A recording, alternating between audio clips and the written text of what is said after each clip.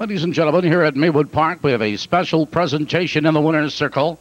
Racing Secretary Doc Narotsky presenting a $20,000 check to trainer Nelson Spider with us and Tony Morgan Chicago Jazz.